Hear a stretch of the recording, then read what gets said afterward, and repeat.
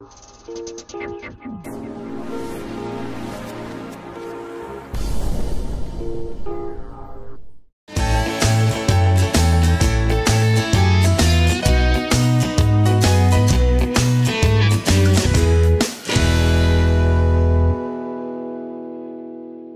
Здравствуйте, приветствую вас на канале Notic, и сегодня мы рассмотрим с вами бюджетный аппарат от фирмы Asus, а именно R541NA.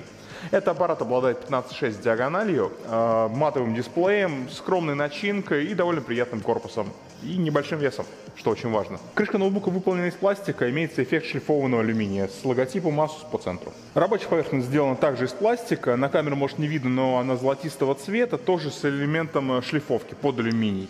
Имеется два больших динамика и клавиатура полноразмерная с цифровым блоком. Включение здесь, к слову говоря, здесь э, высокий профиль клавиш, я такой давно не видел, то есть они довольно глубоко нажимаются.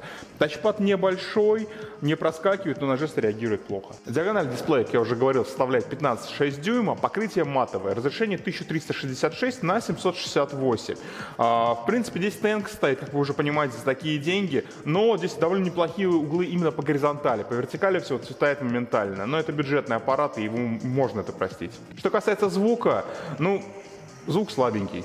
Лучше всего в наушниках, либо с колонками использовать. Лучше в наушниках. Все основные порты расположены по левой грани ноутбука. Среди них три USB порта, один из которых Type-C. Есть LAN, есть HDMI, есть даже VGA. А картридер вот здесь вот. DVD-привод здесь не предусмотрен, потому что эта грань пустая, весит он 2 килограмма, в толщину чуть меньше 3 сантиметров. Что касается производительности, то за нее в этом аппарате отвечает процессор Celeron двухъядерный поколения Apollo Lake. Также здесь установлено 4 гигабайта оперативной памяти DDR3, 500 гигабайтов жесткий диск. Ну что можно сказать об такой производительности? Ну, Skype, да, э, интернет, да, можно кино посмотреть, можно ютубчик глянуть. Э, что касается игр, ну, Diablo 2, Warcraft 3, ваши лучшие друзья, они пойдут здесь отлично. Подводя итоги, хочу сказать, что это неплохой вариант за свои деньги. У него имеется приличный корпус, хороший экран. А, в принципе, по весу он не так уж большой.